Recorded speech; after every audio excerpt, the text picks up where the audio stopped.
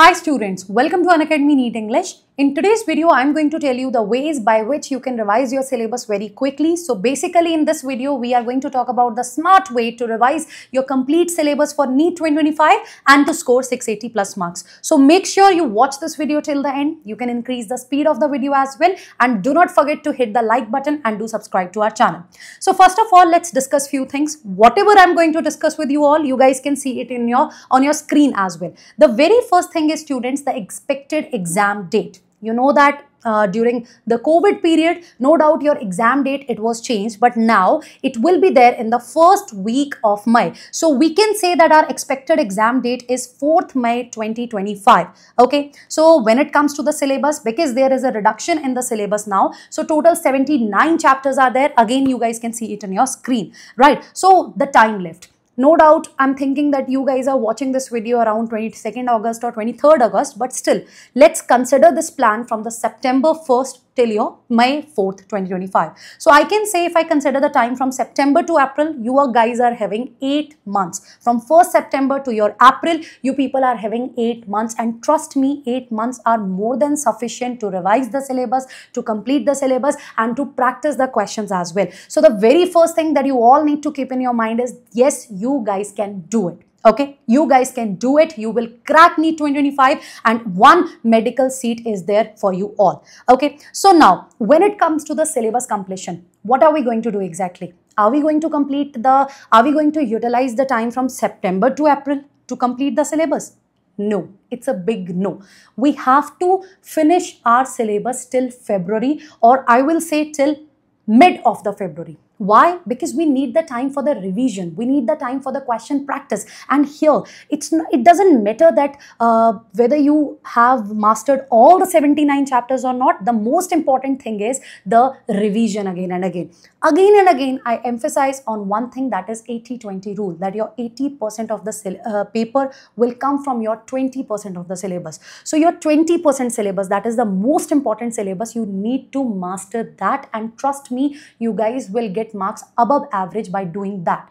And now, so uh, what we have to do, we have to complete our syllabus till uh, 15th of February. Let's keep 15th of February as our last date to finish the syllabus. So now let's talk about some targets and they should be realistic. Again, you people can see it on, uh, on your screen. So one is, let's say you are targeting 500 to 650 marks. Okay as per your state, as per your category, you guys can decide your score. If you people are thinking that I want to start now and I want to get AIIMS Delhi, I want to get All India rank 1. So I believe you have completed the syllabus once, right? It's just that your preparation is not directional and now you're watching this video because you want to make sure that you get that proper track for the revision, right? So let's focus on some targets. You can, let's say if your target is 500 to 650 marks, then yes, you can go for the most important chapters. You can be selective for physics, chemistry as well as biology. It means if you want to leave few chapters, you guys can.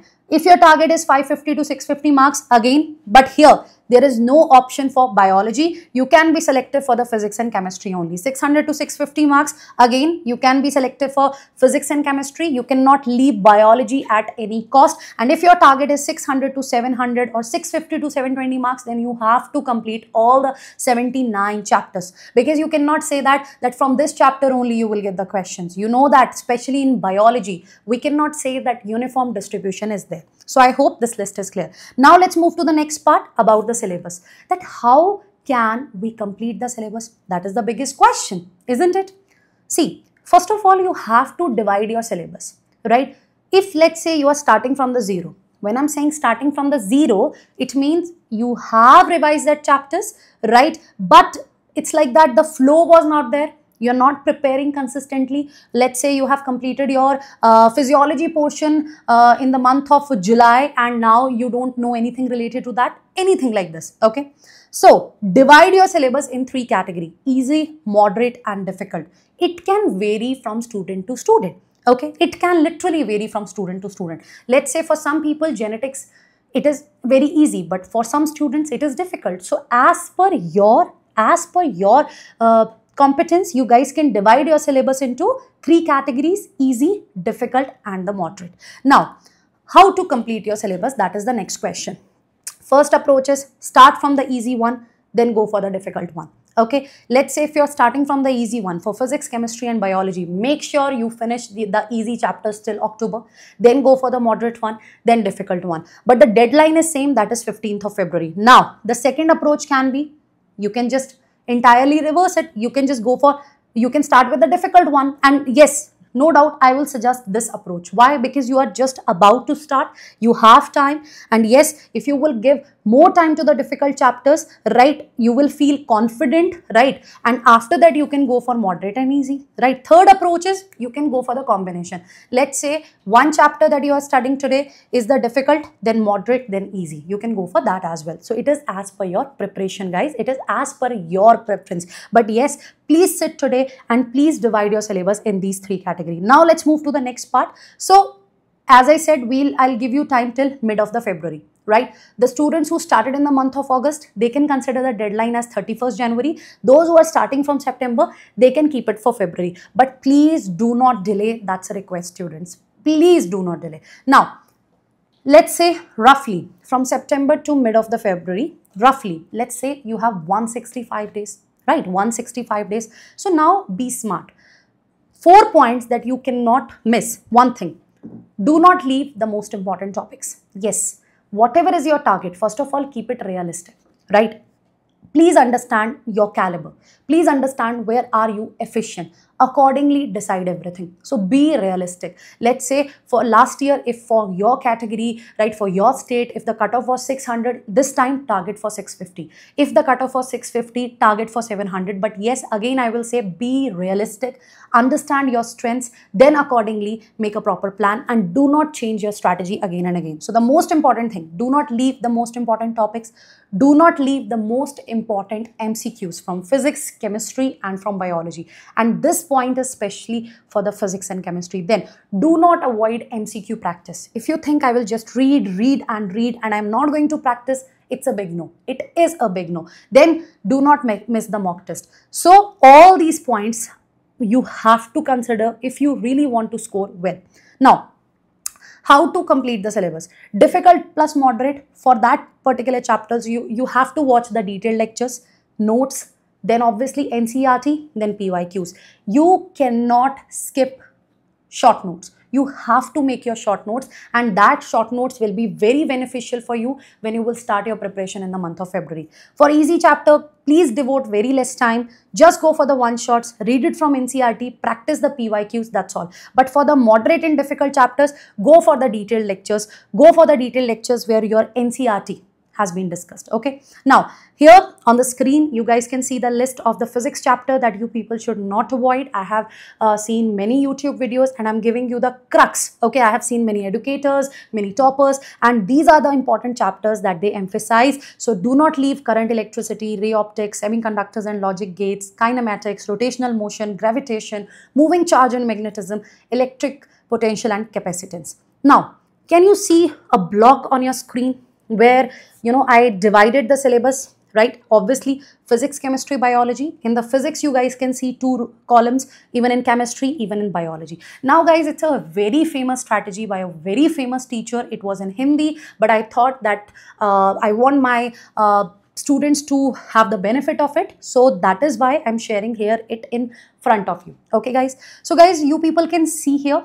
Here what you have to do. You can move row wise. This is just a plan. This is just a suggestion. I'm not saying go for that only, but it is very analyzed strategy. Just focus on the first row where they have mentioned the physics chapter, then chemistry, then biology. You can make such combinations and then you can revise. For an example, for the physics, your Newton's law and uh, laws uh, of motion, then Yes, then next you have is electrostatics. So when you complete these two chapters together, then you guys can go for the thermal physics, right? So this is, I'm talking about the first row. You want to follow the column wise, you can. It is just one block right? It is just one block. So in that particular strategy, the teacher has uh, given the three blocks for the quick revision, but I'm just giving you uh, an idea that how can you divide your syllabus. So I'm just, that's why I'm, I have added it here. So Newton's laws of motion, electrostatics, then you can go for thermal physics. Same way in the chemistry, right? Accordingly, you people can proceed and same for the biology. So please follow this, right? And uh, please follow this particular part okay this uh, strategy this block strategy go row wise and then you can further move down let's say in the physics you completed the newton's laws of motion electrostatics then thermal physics then go for kinematics your gravitation capacitance then you can go for for the uh, heat transfer further. So like this in a zigzag way you can complete your physics part then chemistry same for the biology. Let's uh, in the biology you can see human physiology is there then human uh, reproduction reproductive health plant physiology then sexual reproduction in flowering plants then animal diversity and genetics. So accordingly make a plan. Go for it. Right? So this video is specifically specifically for the droppers and those who are in class 12th and they have finished they are about to finish their class 12th syllabus. So follow this and trust me if you will prepare in a proper way if you follow a proper strategy trust me these 8 months are more than sufficient for you all. Right? The main things that you cannot avoid is mcq practice notes making and the mock test if you are not going to start with the mock test practice now then uh, let's say if you just started in the month of April only, then it will be like, let's say if you will start now, you will understand the time management in a better way. So that's my suggestion. Start it from today itself. Okay after start giving your mock test after every 15 days. On unacademy platform you guys can access many questions right? You people can practice there. So complete your syllabus till february so that in the month of uh, february and march you can revise. In the month of april you can give your mock test. Then you can revise from your errors and you will get the good marks. So it's always about your strategy. Okay it's not about your syllabus, right? Let's say if you have completed 79 chapters but you are not revising it, it will not be helpful for you. So focus on such things, guys. And you know that we are here to support you. So in the description box, there is a link for my batch that is Phoenix Pro. And uh, you know that the complete team Avengers is teaching you there. You guys can see the details on your screen as well. So join this batch without delay because we are about to start plant physiology and human physiology is also going on. And after that, we will move to the important chapters of your class 12 as well. So keep studying and if there is any doubt, do let me know in the comment section. Thank you so much everyone.